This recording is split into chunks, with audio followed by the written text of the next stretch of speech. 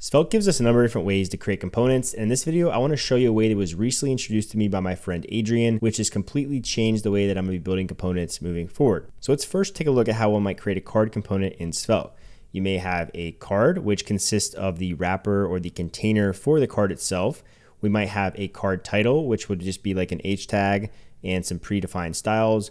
We may have a description, which is typically a P tag or a span tag with its own styles, and then a button, which can consist of some actions or whatever else that you wanted on this card, right? The idea here is that we have these three different components that we're importing, or four different components really that we're importing, and then using them all inside of our app.svelte or page.svelte file. We can have as many titles, descriptions, or buttons as we want. And there isn't really a problem here, right? From a functionality perspective, this works just as you might expect, right? But we can do better. So since the card title, card description, and card button were specifically designed to be used inside of the card component here, this card wrapper, and they really shouldn't be used outside of it, we can actually move all of these import statements here from this app.svelte or page.svelte into the card.svelte, like so.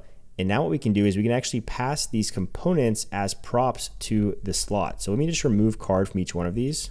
And I'm just gonna say title, description, and button here. And then inside of our card component here, or inside of our page.svelte where we're using the card component, we can say let title, let description, and let button. And then I'm just gonna remove card from each one of these.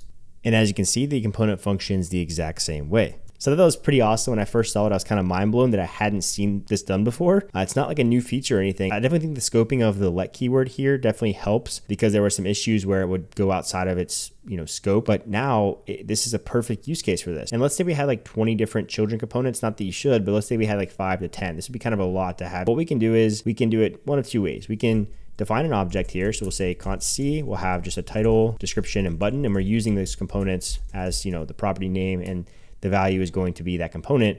And then we can just use the spread operator here to pass all of those into the card. And as you can see, it still works the same exact way. But if you have, you know, five or more or four or more to where it starts to get cluttered up over here, we could actually just pass C to our slot. And then on this side, we'll just say let's C, and then we'll have a C dot title. And I'm, I'm saying C in this case stands for children. You can't use the keyword card. Um, at least I couldn't in my experimenting due to the fact that it conflicts with this, I believe, of course, and the import that we have here. Uh, but C works fine, uh, or whatever else you'd want to call this. I um, mean, you do get type hints too, which is super awesome. So you can actually do C dot and it'll show you title, description, and button. So you know all the children components that you have for this card. And as you can see by changing this up, it works just as it would normally. We could have multiple buttons. Each of them can be their own unique things. We can have disabled equals true here and now we have a disabled button and then a non-disabled button. So I think this is a pretty awesome way to create components and I hope you do as well. I wanted to make this quick video today to show it to you all. I know I haven't made a video in a little over a month and that's because I've been really busy working on a new headless UI library for Svelte along with some others called Melt UI. It's still in its early stages, but I think it's going to be the de facto headless UI library for Svelte and we're putting a lot of effort and energy into really making the developer experience top notch and to adding those components that we as Svelte developers have been missing for quite some time at least from an accessibility perspective. So I'll leave a link in the description down below. It's definitely still in its early stages, so don't expect some production ready library yet. But if you want to start messing around with it and seeing what we're up to, you can check it out down below. I'm also going to be refactoring shadcn-svelte to use that approach with the next big overhaul that is currently in the works. So thank you all so much for watching. I appreciate every single one of you for subscribing and liking and watching my videos. It means a ton to me, and I will see you in the next one.